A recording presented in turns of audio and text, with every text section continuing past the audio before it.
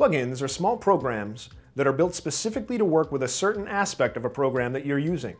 There are a variety of filters and visual effects that are designed to work inside Photoshop. The Plugins tab inside the Preferences panel is where you decide how Photoshop handles the various plugins. So in order to get to this panel, we come up here if we're on a Macintosh, go down to the Photoshop menu, highlight Preferences, and then click on Plugins. If we're on a PC, this will be found in the Edit menu, Keyboard shortcuts, menus, and preferences will be right here underneath menus, or we can hit Control K. Then we come over here to the Plugins menu. So let's talk about plugins. Now, as I said before, plugins are small programs that are designed to work with larger programs. Usually it adds some sort of small functionality like the HUD color picker or uh, maybe it'll add some certain filters that aren't necessarily natively available in Photoshop. If some independent programmer decides he wants like a gamma filter or something like that, he can program one, and Photoshop allows you to add these plugins that you download off the internet into Photoshop so that you can use these different filters in the program as you work. So what are our options? The first thing is the additional plugins folder. Well, click on that, and you simply choose a folder. In this case, I don't necessarily have a plugins folder ready for you, but let's say we did. Plugins. There it is. It's on my desktop, and that's where I'm going to save all the plugins eventually, so I'll just hit choose. Now, Photoshop, every time it opens, is going to go right here to the plugins folder that, that I just created, and it's going to search for any kinds of plugins.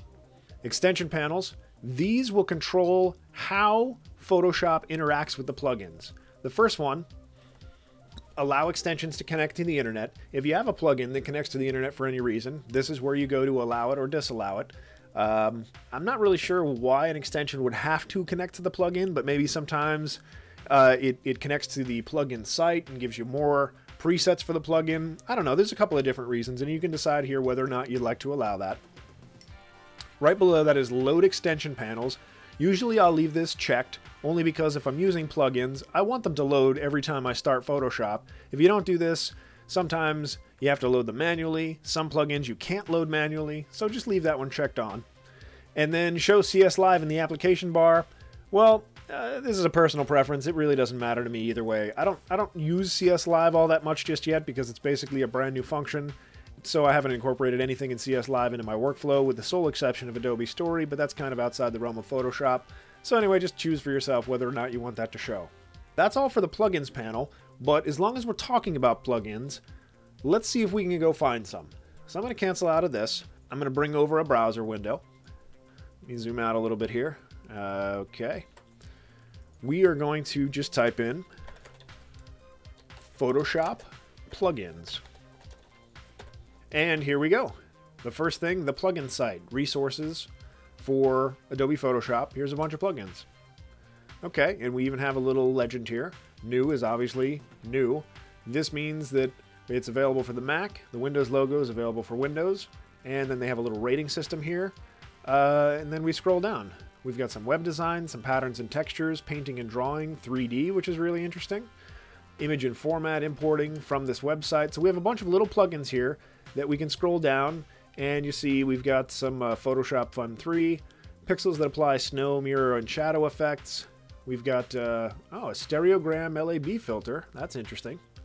So you can see there's a bunch of different plugins right here on the first site that we found on Yahoo. You can use Google or Bing or whichever search engine you prefer, but this is the easiest way to get plugins. Let's say we wanted to download Plugin Galaxy here. We've got a whole bunch of different effects, but it's got three stars, it's compatible with Mac or Windows. So here we go. Here's the new version. Scroll down. How do we get this? And much, much more. Right over here on the left, we've got download. Click on that. Which of these plugins would you like to download? Plugin Galaxy. All right, well, we're not going to do this right now because this requires that we throw in our email, but I'm sure there's some other site on the internet here we can get that doesn't require our email. And essentially, that's the gist of it. You're going to get a couple of different special effects, maybe some uh, some great star wipes, drop shadows, that sort of thing. and anyway, there you have it the plugins menu and a quick way to get plugins. And uh, that's basically it for this for this panel. Please remember to comment, rate, and subscribe below, and send any questions that you might have to requests at mahalo.com. Thanks for watching.